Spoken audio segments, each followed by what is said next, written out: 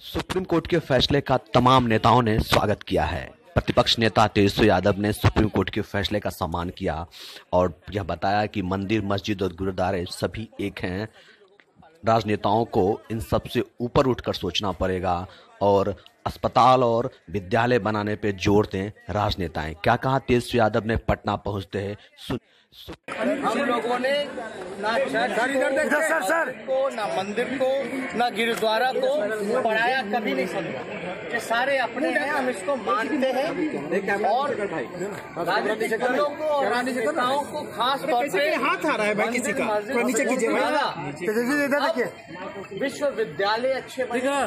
कॉलेजें अच्छे बने स्कूल अच्छे बने अस्पताल अच्छे बने इसमें हम ध्यान रखने की ज़रूरत है और बाकी जो फैसला आया है हम लोगों का पहले से ही ये राय था कि जो सुप्रीम कोर्ट का फैसला आएगा उसको हम लोग हैं।